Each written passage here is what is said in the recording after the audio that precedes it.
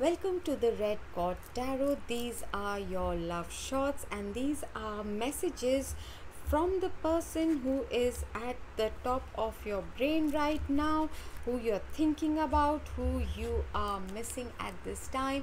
This can be someone you have a crush on, someone from the future who's going to come towards you, or it could be your ex, it can be someone who you are in separation with, or a long distance relationship with. The first message is Am I good enough for you? So they put you a bit on a higher pedestal. You still hold a piece of my heart. A lot of signs are pointing to you lately, so they might be seeing your name or songs or your perfume. Karma is a bitch. I finally got mine.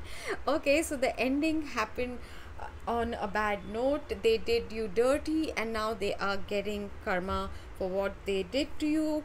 If they treated you shabbily someone else might be treating them shabbily.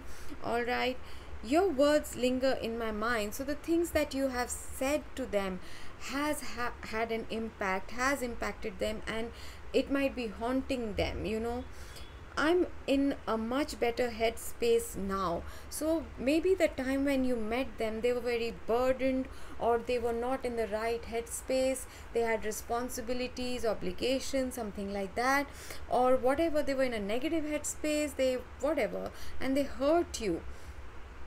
I have never forgotten you, even though you think I have this is a very intense reading and of course if you'd like to know more there are a whole bunch of situation based readings that go into extreme detail and in depth and you can find that on my playlist and especially if this particular uh, set of messages are making sense to you please go ahead and take a look. I will uh, leave a link for you so you can go to that playlist and choose other reading that the title resonates most with you.